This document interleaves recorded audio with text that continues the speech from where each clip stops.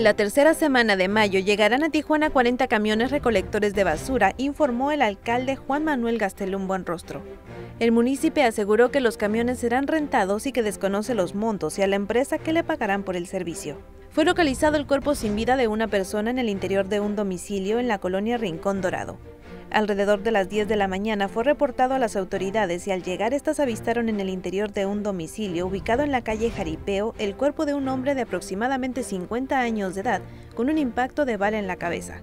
La Unidad Estatal Investigadora de Búsqueda de Personas No Localizadas solicita la colaboración de la ciudadanía para localizar a un hombre de 49 años de edad.